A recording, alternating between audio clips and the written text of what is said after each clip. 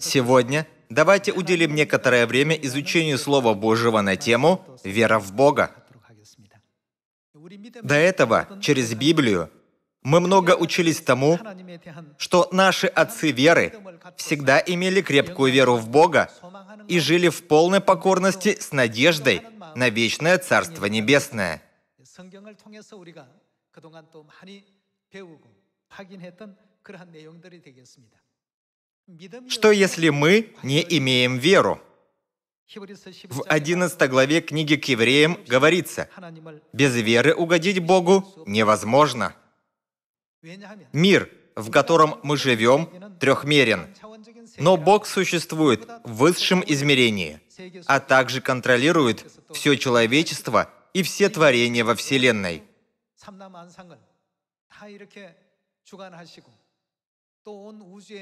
Хотя Земля маленькая, как пылинка, Бог любит людей, живущих на ней, поэтому Он сам пришел во плоти, чтобы спасти их всех. Мы можем проверить это в Библии. В духовном мире сатана, то есть дьявол, противился Богу на небесах и собрал много злых последователей, чтобы восстать против Бога. Уловкой, которую он использовал, чтобы сплотить их, был обман. Он обольстил и обманул многих. Мы уже изучили через Библию, что сатана соблазнил Божьих детей и ангелов на небесах правдоподобными словами и, в конце концов, привел их на землю.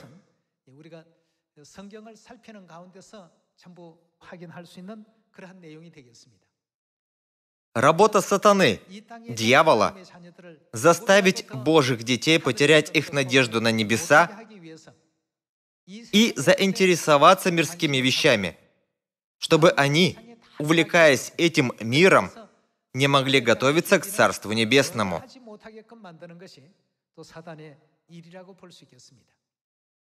Обращая внимание на разговоры людей мира, мы можем узнать, чем они интересуются.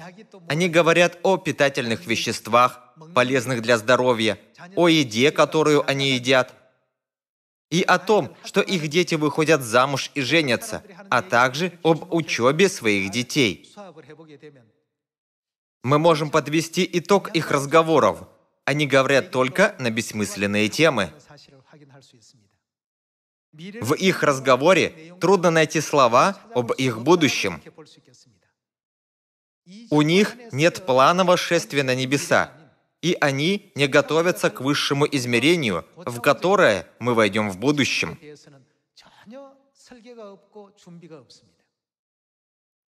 Потому что они не имеют веру в Царство Божье и не имеют веру в Бога.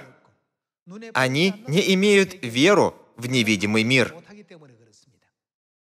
Две тысячи лет назад святые ранней церкви преследовались различными способами. Только потому, что они имели веру в Иисуса, с ними обращались очень жестоко. Они терпели невзгоды от их общества, их семей и их соседей. Но, несмотря на все эти невзгоды, их вера не изменилась. Ибо кратковременное, легкое страдание наше производит в безмерном преизбытке вечную славу. 2 Коринфянам, 4 глава, 17 стих. Так как они имели такую веру, они не боялись, даже когда были брошены на съедение львам в амфитеатре и были сожжены на костре, что называлось человеческими свечами. Если такое преследование и гонение что испытывала ранняя церковь, случится и сегодня с нами, то можем ли мы хранить нашу веру? Давайте предположим, что мы находимся в их ситуации. Мы живем в эпоху, когда требуется много масла веры, больше, чем когда-либо. Допустим, что мы жили в дни ранней церкви 2000 лет назад. Если бы мы подвергались презрению, преследованию и гонению, то смогли бы мы хранить нашу веру в Христа полагаясь на Него, и следовать за Ним до конца. Так, давайте сегодня проверим нашу веру в Бога. Идя путем веры, мы сталкиваемся со многими проблемами. Мы не можем избежать различных препятствий сатаны. Однако, во все времена наши отцы веры имели мудрость, которая обессилила все препятствия и превратила их в средства, помогающие нам. Когда мы имеем веру в Бога, десятки тысяч препятствий становятся ничтожными, наоборот, помогая нам расти в вере. Давайте посмотрим это в Библии. Посмотрим книгу к евреям, 11 глава, 1 стих. Вера же есть осуществление ожидаемого и уверенность в невидимом. В ней свидетельствованы древние. Верою познаем, что веки устроены Словом Божьим, так что из невидимого произошло видимое. Верую Авель принес Богу жертву, лучшую, нежели Каин. Ею получил свидетельство, что он праведен, как засвидетельствовал Бог о дарах его. Ею он и по смерти говорит еще. Верую Енах переселен был так, что не видел смерти, и не стало его, потому что Бог переселил его. Ибо прежде переселения своего получил он свидетельство, что угодил Богу. А без веры угодить Богу невозможно, ибо надобно, чтобы приходящий к Богу веровал. Во что? Верил в то, что Он есть, Он жив и действенен. Ибо надобно, чтобы приходящий к Богу веровал, что Он есть, и ищущим Его воздает. Они имели такую большую веру.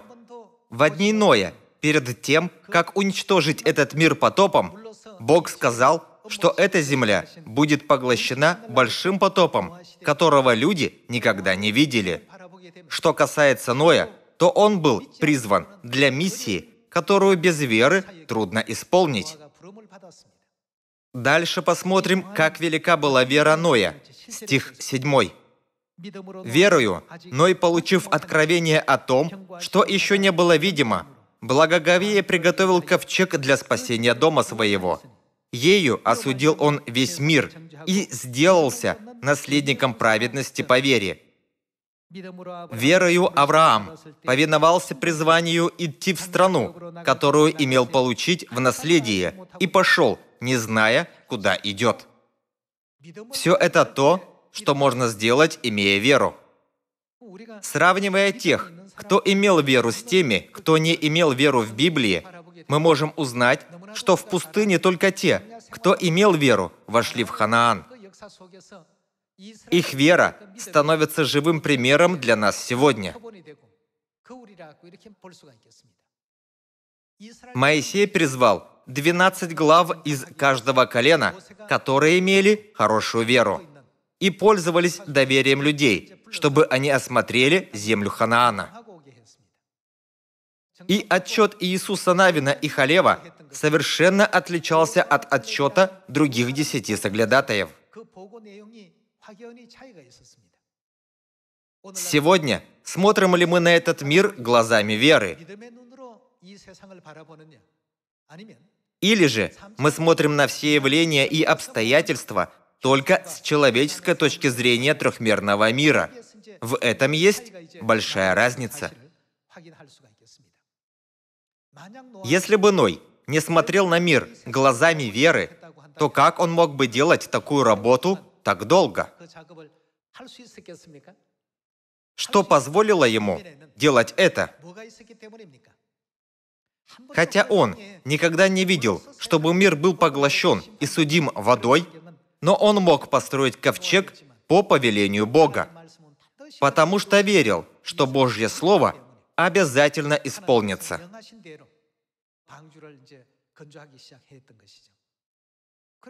Для продвижения судна вперед с помощью силы ветра нужна мачта. И для настройки направления требуется судовой руль. Однако Ной не спросил Бога, где мачта, где судовой руль. Он верил, что Бог, который знает конец от начала, готовил все это заранее.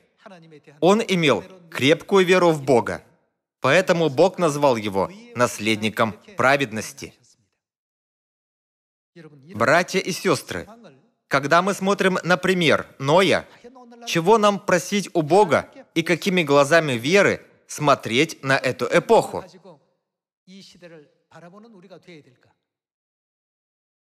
Перед нами много препятствий. Сегодняшняя пандемия коронавируса – это тоже одно из бедствий. Верно? Если бы не было коронавируса, то мы усердно благовествовали бы. Однако в нынешней ситуации будем ли мы смотреть только на трехмерный мир? Или же обращать внимание на слова Библии, написанные для мира четырех или пяти измерений? Те, кто не обращает внимания на слова Библии, будут жить жизнью, которая стремится к тщетным вещам. Посмотрим книгу к евреям, 10 глава, 36 стих. «Терпение нужно вам, чтобы, исполнив волю Божью, получить...» Что получить? Получить обещанное. После исполнения Божьей воли мы можем получить обещанное Богом – вечное наследие Царства Небесное. Когда мы возвратимся в духовный ангельский и реальный мир, Бог обещал, что сделает нас царственным священством, и что там не будет ни смерти, ни вопля, а будет вечная жизнь. Много обещаний уготовано. Посмотрим стих 37. «Ибо еще немного, очень немного, и грядущий придет, и не умедлит. Праведный верою жив будет, а если кто поколеблется? Если кто-то поколеблется, то его вера станет слабее и слабее. Тогда он будет больше увлекаться этим миром, чем иметь надежду на небеса. А если кто поколеблется, не благоволит к тому душа моя, мы же не из колеблющихся на погибель, но стоим в вере к спасению души. Все мы должны иметь такую веру, которая ведет нас к спасению. Здесь через пророков Бог написал все, чего Он желает нам. Сказано, что эта Библия написана Божьими людьми, будучи движимы Духом Святым. Давайте откроем 13 главу книги «Числа» и посмотрим, какой урок дан нам и какую веру мы должны иметь. Числа, 13 глава, 26 стих. «И, высмотрев землю, возвратились они через сорок дней, и пошли и пришли к Моисею и Аарону, и ко всему обществу сынов Израилевых, в пустыню Фаран, в Кадес, и принесли им и всему обществу ответ, и показали им плоды земли. И рассказывали ему, и говорили, «Мы ходили в землю, в которую ты послал нас, в ней подлинно течет молоко и мед, вот плоды ее». Но народ, живущий на земле, той силен, и города укрепленные, весьма большие, и сынов Инаковых мы видели там. Амалик живет на южной части земли. Хитеи и Еуфсеи и Амареи живут на горе, Хананеи же живут при море и на берегу Иордана. Люди там были великорослыми и сильными. Они были людьми, к которым нам трудно приблизиться. Они сказали все так, как есть. Десять соглядатаев не придумали историю, которой не было. Они просто сказали обо всем, что увидели, но только без чего. Только без обещанных слов Бога о том, что Бог даст им эту землю. Они произнесли свое суждение и мнение просто с точки зрения трехмерного мира. Из-за этого люди стали роптать. Стих 31. Но Халев успокаивал народ пред Моисеем, говоря, «Пойдем и завладеем ею, потому что мы можем одолеть ее». Посмотрим 32 стих. А те, которые ходили с ними, говорили, «Не можем мы идти против народа сего, ибо он сильнее нас». Кто обещал дать землю Ханаана? Бог.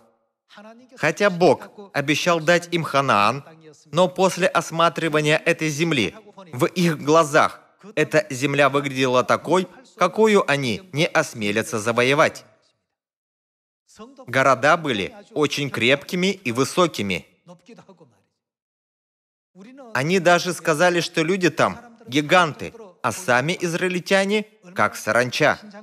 Это показывает большое отличие в их телосложении. Люди, которые услышали это, огорчились. Они полностью забыли о Божьем обещании. Когда мы отдаляемся от Божьих слов, то начинаем терять веру. Также в саду Эдема, когда было потеряно Божье Слово, Слово сатаны стало соблазном. Плод дерева познания добра и зла превратился в плод, который хорош для пищи и приятен для глаз и вожделенен, потому что дает знание. Братья и сестры, мы должны всегда запечатлевать Божье Слово в нашем сердце и проверять самих себя, чтобы узнать, полагаемся ли мы на Божье Слово. Во время сорокалетней жизни в пустыне большинство израильтян полагалось на то, что они видели и чувствовали. Но Иисус Навин и Халев полагались на Божье обещание. Это земля, которую Бог обещал дать нам. Даже если они выглядят великорослыми, и их оружие более продвинуто, чем у нас, не обещал ли Бог дать нам эту землю? Иисус Навин и Халев думали только о Божьем обещании. Люди города Иерихона в их глазах также выглядели как гиганты. Фактически, они имели крупное телосложение, они не выглядели как-то по-другому. Их город был укрепленным и высоким также и в глазах Иисуса Навина и Халева. Однако, кто был в сердцах и в глазах Иисуса Навина и Халева? Бог был в их сердцах, и они абсолютно верили в Божье обещание. Это то, что обещал Бог. Защиты у них не станет, а с нами Господь. Поэтому они достанутся нам на съедение. Братья и сестры, допустим, что маленький ребенок подойдет к вам и скажет, «Вы нам на съедение». Тогда что вы будете чувствовать? Вам будет смешно. Когда гиганты в земле Ханаана смотрели на израильтян, они, вероятно, чувствовали то же самое. Однако, что сказал Иисус Навин? «Не бойтесь народа земли сей, с нами Бог». Только Иисус Навин и Халев отличались от других в вере. Поэтому, в конце концов, эти двое могли войти в землю Ханаана. Ханаан представляет собой Царство Небесное. Что нам нужно для восшествия на небеса? В эту эпоху нам обязательно нужна вера, подобная вере Иисуса Навина и Халева. Вера в Божье Слово. Что Бог сказал? Если Бог обещал что-то, то это обещание обязательно исполнится. Бог никогда не лжет. Слово мое, которое исходит из уст моих, что случится? Оно не возвращается ко мне тщетным. Это обязательно исполнится, потому что Бог сказал. Здесь мы можем видеть веру Иисуса Навина и Халева – Перейдем к книге числа, 14 глава, 1 стих. «И подняло все общество вопль, и плакал народ всю ночь». Бог обещал дать им эту землю, но люди поверили только тому, что сказали соглядатые, позабыв Божье обещание. Посмотрим стих 2. «И роптали на Моисея и Аарона, все сыны Израилевы, и все общество сказало им, «О, если бы мы умерли в земле египетской, или умерли бы в пустыне сей, и для чего Господь ведет нас в землю сию, чтобы мы пали от меча?» Братья и сестры, Бог показал нам это как образец, желая, чтобы мы поняли, какую веру надо иметь, когда мы находимся в подобной ситуации. Однако 3500 лет назад израильтяне упали духом, фокусируясь только на обстоятельствах. Посмотрим 14 главу, 1 стих. «И подняло все общество вопль, и плакал народ всю ту ночь, и роптали на Моисея и Аарона, все сыны Израилевы, и все общество сказала им, «О, если бы мы умерли в земле египетской, или умерли бы в пустыне сей! И для чего Господь ведет нас в землю сию, чтобы мы пали от меча? Жены наши и дети наши достанутся в добычу врагам. Не лучше ли нам возвратиться в Египет? И сказали друг другу, поставим себе начальника и возвратимся в Египет. И пали Моисей и Ааron на лица свои пред всем собранием общества сынов Израилевых. И Иисус, сын Навина, и Халев, сын Иефонии, из осматривавших землю, разодрали одежды свои и сказали всему обществу сынов Израилевых, «Земля, которую мы проходили для осмотра, очень-очень хороша. Если Господь милостив к нам, то введет нас в землю эту и даст нам ее, эту землю, в которой течет молоко и мед». Только против Господа не восставайте, и не бойтесь народа земли сей, Ибо Он, что Он, ибо Он достанется нам на съедение. В английской версии короля Джеймса говорится «Они наш хлеб». Это значит, они незначимы для нас, верно? И что дальше сказано? Защиты у них не стало, а с нами Господь. Не бойтесь их. Они были воинами, которые имели поистине великую веру. Бог отличил не имеющих веру от имеющих ее и сказал им, «Вы, не имеющие веру, скитайтесь по пустыне вечно». Поэтому они бродили по пустыне в течение 40 лет до того, как погибли там. Дальше посмотрим 10 стих. Когда Иисус Навин и Халев закончили говорить, люди пытались побить их камнями. И сказала все общество, побить их камнями. Но слава Господня явилась в скинии собрания всем сынам Израилевым. И сказал Господь Моисею, «Доколе будет раздражать меня народ сей, и доколе будет он не верить мне при всех знамениях, которые делал я среди его». Братья и сестры, кто с нами? Бог с нами, не так ли? Кто воздвиг эту церковь? Бог воздвиг ее. Как бы все другие религии мира не объединились, они ничтожны. Для Бога все народы земли всего лишь одна капля воды в ведре. Для Бога они не имеют никакого значения. И они подобны пылинке на весах. Давайте внимательно посмотрим, как Бог судил не имеющих веру. То же самое в этой эпохе. Если мы не имеем веру в какой-то определенной ситуации, мы тоже будем погибать так. Посмотрим 20 стих. «И сказал Господь Моисею, «Прощаю по слову твоему, но жив я, и славы Господней полна вся земля». Все, которые видели славу мою и знамения мои, сделанные мною в Египте и в пустыне, и искушали меня уже десять раз, и не слушали гласа моего, не увидят земли, которую я с обещал отцам их. Все, раздражавшие меня, не увидят ее. Но раба моего Халева за то, что в нем был иной дух, он имел иной дух, который отличался от духа других.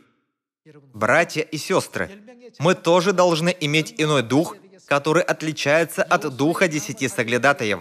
Мы должны иметь дух, который имели Иисус Навин и Халев. Бог сказал, «Мой раб Халев имел иной дух, и он совершенно повиновался мне. Он никогда не терял веру в Бога, а крепко хранил ее до конца. И он совершенно повиновался мне, введу в землю, в которую он ходил, и семя его наследует ее. Амалекитяне и хананеи живут в долине. Завтра обратитесь и идите в пустыню к Черному морю.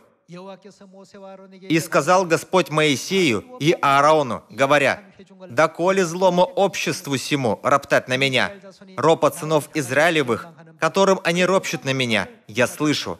Скажи им, «Живу я, — говорит Господь, — как говорили вы вслух мне, так и сделаю вам». Стих 29. «В пустыне сей падут тела ваши, и все вы, исчисленные, сколько вас числом от 20 лет и выше, которые роптали на меня, не войдете в землю, на которой я, подъемля руку мою, клялся поселить вас, кроме Халева, сына Иефонина, и Иисуса, сына Навина. Итак, в конце концов, Бог сказал, «Не войдете в землю, на которой я, подъемля руку мою, клялся поселить вас, кроме Халева, сына Иефонина, и Иисуса Навина, сына Навина». Тогда что случилось с оставшимися людьми? Стих 31. Детей ваших, о которых вы говорили, что они достанутся в добычу врагам, я введу туда, и они узнают землю, которую вы презрели, а ваши трупы падут в пустыне сей. А сыны ваши будут кочевать в пустыне сорок лет, и будут нести наказание за блудодейство ваше, доколе не погибнут все тела ваши в пустыне. Их неверие повлекло за собой их страдание – Идя путем веры, мы сталкиваемся со многими трудностями. Сатана не оставляет нас в покое. Он не дает нам дорогу в хорошее место. Он соблазнил нас даже на небесах. Тогда насколько легче ему соблазнять нас здесь на земле? Мы всегда должны опираться только на Бога. Только когда мы абсолютно верим в Божье обещание и исполняем его, мы сможем испытать славный момент при встрече с Господом в воздухе преобразившись в мгновение ока, и жить вечно с Небесным Отцом и Матерью. Верно? Святые ранние церкви абсолютно верили, что хотя их тела умирают, они воскреснут в духовные тела со Христом в утро воскрешения, чтобы насладиться вечной жизнью и счастьем с Господом на небесах в вечном рае. Поэтому, даже если они были преследованы римскими тиранами из рода в род, они никогда не поддавались им. Ничто не смогло сломать веру христиан. Извлекши урок из этой истории, давайте с верой преодолеем все трудности перед нами. Откройте, пожалуйста, третью главу книги Даниила. Как вы видите здесь, царь, используя свою власть, вынуждал троих друзей Даниила, Сидраха, Мисаха, Авденага, которые работали в Вавилоне, чтобы они поклонились истукану, которого он сделал. Вся эта история веры не написана в Библии без причин. Все, что написано в Библии, служит тенью для нас сегодня. Поэтому, когда случается подобная ситуация, мы всегда должны помнить, что Библия говорит, и внимательно думать о том, какой результат Бог произвел. Третья глава, стих 14. Навуходоносор сказал им, «С умыслом ли вы, Седрах, Месах и Авденага, богам моим не служите, и золотому истукану, которого я поставил, не поклоняетесь? Отныне, если вы готовы, как скоро услышите звук трубы, свирели, цитры, цевницей, гуслей, симфонии и всякого рода музыкальных орудий, пойдите и поклонитесь истукану, которого я сделал. Если вы поклонитесь истукану, то я спасу вас. Если же не поклонитесь, то в тот же час брошены будете в печь, раскаленную огнем. И тогда какой Бог избавит вас от руки моей? Это очень страшная ситуация в трехмерном мире. Все подчиненные царя Вавилона поклонились истукану, но эти трое, Седрах, Мисах, Абданага, сказали, что они никогда не будут это делать. 16 стих. «И отвечали Седрах, Мисах и Авденага, и сказали царю Навуходоносору, «Нет нужды нам отвечать тебе на это. Бог наш, которому мы служим, силен спасти нас от печи, раскаленной огнем, и от руки твоей царь избавит. Если же и не будет того, то да будет известно тебе, царь, что мы богам твоим служить не будем, и золотому истукану, которого ты поставил, не поклонимся. Тогда Навуходоносор исполнился ярости, и вид лица его изменился на Сидраха, Мисаха и Авденага, и он повелел разжечь печь во сколько раз? В семь раз сильнее, нежели как обыкновенно разжигали ее. В печи расплавляется даже железо, не так ли?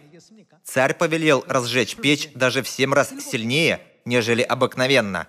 Таким образом, он был намерен убить этих троих, сжегши их. Однако, даже несмотря на угрозу смерти, Седрах, Мисах и Авденага ничуть не колебались в вере.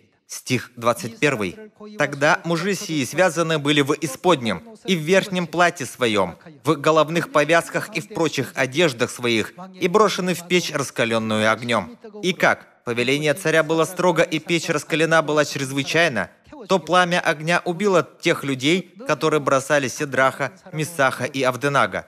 Пламя огня убило тех, кто бросал их в печь. А сие три мужа, Седрах, Мисах и Авденага, упали в раскаленную огнем печь, связанные. Навуходоносор, царь изумился и поспешно встал и сказал вельможам своим, «Не троих ли мужей бросили мы в огонь связанными?» Они в ответ сказали царю, «Истинно так, царь». На это он сказал, «Вот я вижу четырех мужей не связанных, ходящих среди огня, и нет им вреда, и вид четвертого подобен Сыну Божию». Тогда подошел Навуходоносор к устью печи, раскаленной огнем, и сказал, «Седрах, Месах и Авденага, рабы Бога Всевышнего, выйдите и подойдите». Тогда Седрах, Месах и Авденага вышли из среды огня. И, собравшись, сатрапы, наместники, военачальники и советники царя усмотрели, что над телами мужей сих огонь не имел силы, и волосы на голове не опалены, и одежды их не изменились, и даже запаха огня не было от них. Братья и сестры, мир веры не измеряется человеческим трехмерным миром. Через это испытание Седрах, Месах и Авденага оказались в более славном положении, верно? Как радостно будут приветствовать их ангелы, когда они возвратятся на небеса. Даже перед смертью они показали совершенную веру и любовь к Богу. Их крепкая воля дает нам наставление в эту эпоху. И что насчет Даниила? Даже зная, что царь приказал бросить его в львиный ров, он продолжал молиться по направлению к Иерусалиму три раза в день. Его вера тоже была велика. Бог не сказал, что их мысли и поступки были безумными, а сказал, что они были поистине достойны похвалы. В 11 главе книги к евреям говорится, «Без веры угодить Богу невозможно». Поскольку они имели абсолютную веру в Бога, они не боялись быть брошенными в раскаленную огнем печь. И не боялись даже ситуации, когда цари земли восстают против них. Как бы наши обстоятельства не изменились, нам совсем не стоит бояться. В 41 главе книги Исаия Бог говорит, «Я помогу тебе». Бог говорит нам не бояться, а наоборот, Он просит нас быть мужественными. До какого времени? В 28 главе книги от Матфея Бог говорит, «Я с вами во все дни до скончания века». Давайте не будем забывать Бога. Мы всегда должны думать о том, какие повеления и учения Бог дал нам, чтобы принести пользу всем людям в мире. Давайте обращать все наше внимание на Божье Слово, имея веру, которая достаточно велика, чтобы войти в Ханаан благополучно, подобно Иисусу Навину и Халеву. На этом я завершаю сегодняшнюю проповедь. Спасибо.